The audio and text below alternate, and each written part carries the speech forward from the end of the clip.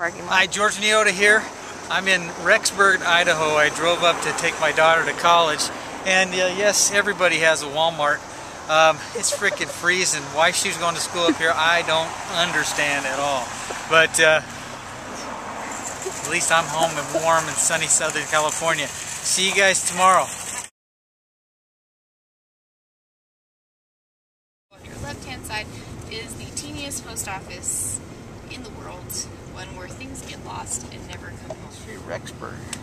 On your life, I mean on your Left. right, how is this colder than Mammoth? We are now turning Because it's like onto Second close to Street. zero. Give yourself plenty of room It to wouldn't be stop. my first accent. You'll hear my first accent. All right, here we are in the Walmart parking lot.